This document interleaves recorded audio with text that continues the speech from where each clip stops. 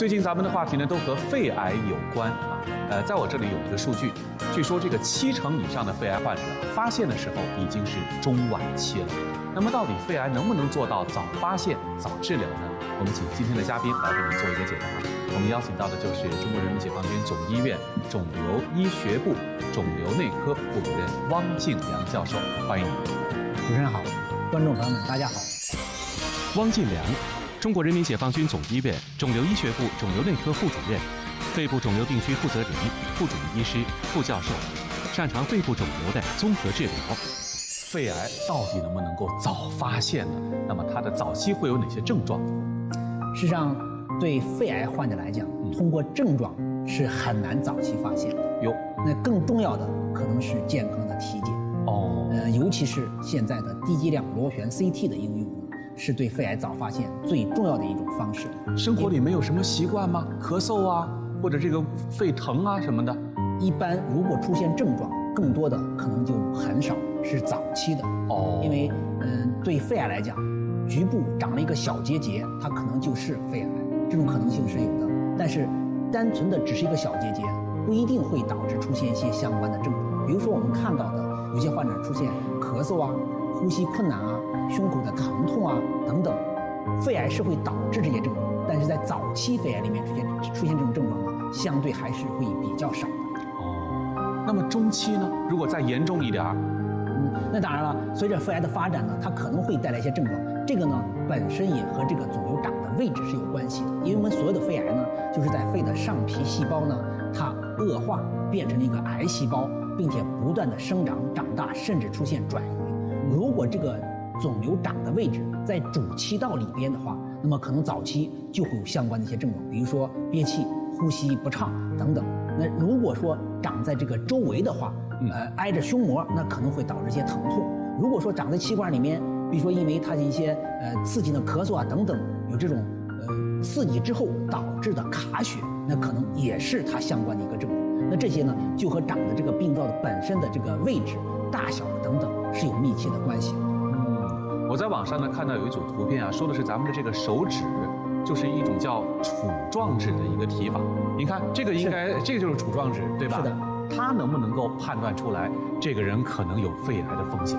嗯，事实上呢，杵状指呢是在我们临床里面，呃，不是能够看到的一种所谓的体征。它为什么会出现这种情况呢？所谓的杵状指就是我们手指包括脚趾的末端，它的一个相对变得肥大的一个变形的一个情况。那这种情况事实上呢，有多种病理的因素都可能会出现杵状指。比如说我们刚才说到的这个肺癌是可能会有杵状指，但是除了肺癌之外呢，其他一些，比如说像先天性心脏病，我们所谓的这种法勒氏四联症，它也可能会出现杵状指。随着大家这个健康意识的提高啊，也是因为大家对这个肺癌的认识，因为它发病率的确越来越多了，我们很多人身边有这样的患者，所以说也都会想到我是不是也应该去做一些相关的体检。那么就肺癌来讲，可能刚才说过最重要的检查。就是一个 CT，尤其是现在呢，我们随着这种低剂量螺旋 CT 的一个出现呢，其实大家的确用的是越来越多了。为什么会提到这个低剂量螺旋 CT 呢？是因为我们常规既往的普通 CT，很多人不愿意去做，就是考虑到它是不是有辐射呀、有放射性啊，它对身体本身可能是有些损伤的。那低剂量螺旋 CT 相对来讲呢，它这种放射性的这种影响呢，相对就要更小，但是它同样能够对一些肺部的结节有一个很好的发现，所以说应用的是比较多的。那除了这种螺旋 CT 之外呢，可能还有一些，比如说我们刚才说的这个杵状指，那可能需要去医院里面找医生去看看，因为它早期可能就会出现多发的一个转移的情况。那么对非小细胞肺癌里面，它还要再分类，包括有腺癌，包括有鳞癌，包括有大细胞癌等等，还有一些少见的一些肿瘤。那么不同类型的肿瘤呢？治疗也是不一样的。那这个时候，我们就需要拿到这块组织进行相关的病理的检查，包括一些特殊的染色，来确定是哪一种类型，来选择合适的一个治疗的一个手段。这是我们对穿刺的一个呃要求。那么，如果我们穿刺已经明确了，比如说是一个腺癌，我们可能还会建议，还不能治疗，建议去做基因检测。那为什么要做基因检测呢？这个可能就是我们后面选择治疗药物的一个不同了，因为。不同的基因情况，这个时候我们可能选择的药物是不一样的，那就涉及到我们现在最相对还是比较新的一些，就是靶向药物的治疗。如果说这个患者我们经过这个检测之后呢，能够找到它存在相关的所谓的我们叫驱动基因的突变。那么根据这个驱动基因来选择靶向药物，它可能毒性会更小，疗效会更好。如果说它没有这个突变，那么说明它就不适合这个靶向药物。你如果用这个靶向药物，那可能就没有什么作用，而且可能患者还要付出耽误治疗的一个代价。所以这个基因检测呢，是我们后期选择治疗重要的一个参考和指导。说到这个癌症，其实我们都知道，它癌症本身可能并不是最致命的因素，有可能是到了中晚期它的扩散的因素会更加的重要啊。那么，肺癌它的这个转移的方式有哪些呢？嗯，在肺癌里面。最主要的转移方式呢，一个是血型的转移。所以血型的转移就是这个肿瘤它本身生长过程中，它是需要一个营养的支持的，它要长啊。那么营养支持它就一定有相关的血管来供应它这个营养。那么这个时候，如果脱落的肿瘤细胞进入这个血液循环，它可能就会随着血液循环到身体组织其他的部位，比如说到脑子里面出现脑。这个不同年龄阶段的人，您建议什么年龄的人？应该去针对肺部做一些 CT 的专业的检查。